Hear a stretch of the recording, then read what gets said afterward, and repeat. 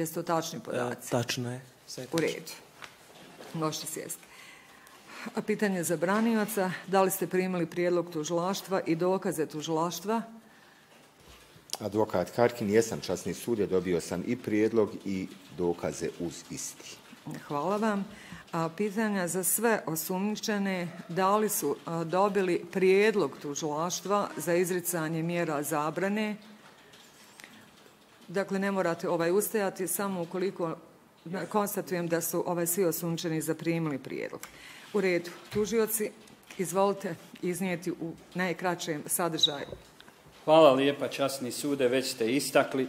Tužilaštvo Bosne i Hercegovine sprovodi istragu protiv osumnjičenih Dževdeta Mujovića, Muharema Bajrića, Hajrudina Šabića, Rijada Nahića, Muhameda Delalića zbog krivičnih dijela terorizam iz člana 201 KZ-a BiH u vezi sa članovima 30 i 31 i krivičnog dijela vrbovanje radi terorističkih aktivnosti iz člana 202b krivičnog zakona Bosne i Hercegovine vezano za djelovanje objekta u Bosanskoj Krupi koji je posjećivao malodobno lice ES koje je izvršilo teroristički akt u, e, u policijskoj upravi Bosanska Krupa. Časni sude tužilaštvo je, kako ste istakli, predložilo mjere zabrane koje ste vi već spomenuli. E, obrazložilo je časni sude razloge i zaista želimo istaći da smo na samom početku ove istrage. Tužilaštvo će sprovoditi finansijsku istragu, to je već evidentno.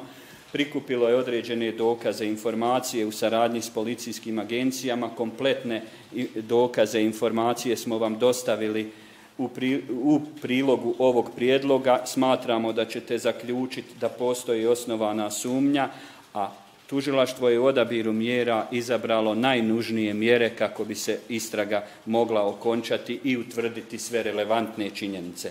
Časni sude istih razloga ostajemo kod pismenog prijedloga, smatra, smatramo da je isti osnovan i da predlažemo da udovoljite prijedlogu prema osumnjičenim izreknete tražene mjere zabrane uz napomenu da je tužilaštvo dio dokaza na, na osnovu člana 47 smatrajući da u ovom momentu možemo podijeliti s odbranom određene dokaze već ustupilo odbrani. Istog razloga časni sude smatramo da su ove mjere nužne u cilju efikasnog okončanja istrage i da su u ovom momentu najnužnije kako bi tužilaštvo okončalo svoje radnje. Hvala vam lijepa. Hvala tužioče.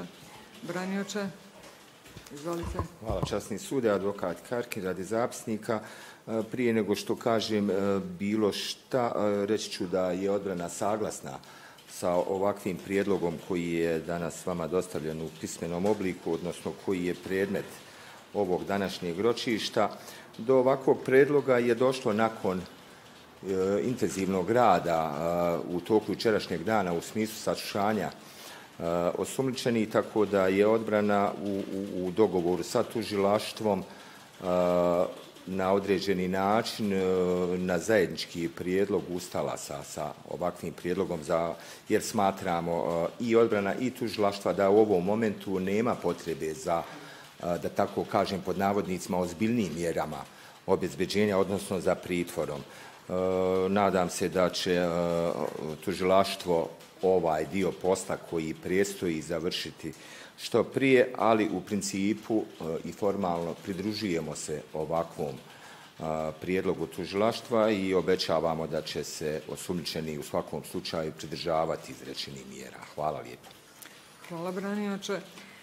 Ja ću sada pojedinačno, ovaj, pardon, prozvati osumnjičene, samo da se izjasni da li su saglasni sa stavom branioca, imaju li on nešto dodati. Džavdet Mujević, sam branioca. hvala vam lijepo. Muharem Bajrić, E, Ja sam Hajran Barić, znači isto sam saglasan sa ovim pri- prijedlogom. u redu, hvala vam. Hajrudin Šabić, Uh, Hajrudin Šabić, saglasan sa predlogom branioca. u redu. Rijad Nahić, Saglasan sam sa prijedlogom branioca.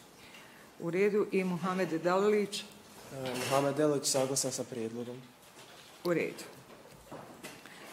Je li ima još neko nešto da doda ili izjavi? Nema. Izvolite. Da riješimo ovo pitanje. Ovaj, dok sud ne uradi rješenje. E, Mi, dakle, mi smo dostavili sudu prijedlog, ali obzirom da su mjere zabrane, e, još uvijek su e, osumnjičeni pod naredbom za zadržavanje tužilaštva. Tako je. A, tužioče, ovaj, e, uskočili ste prije nego što je sud rekao svoju namjeru. Dakle, sud će napraviti sada pauzu od nekih 15, maksimalno 20 minuta. Obzirom da je sud imao priliku da razmotri dokaze koji su dostavljeni uz prijedlog i u zatvorenoj koverti po članu 47, nakon pauze sud će usmeno da objavi svoju odluku.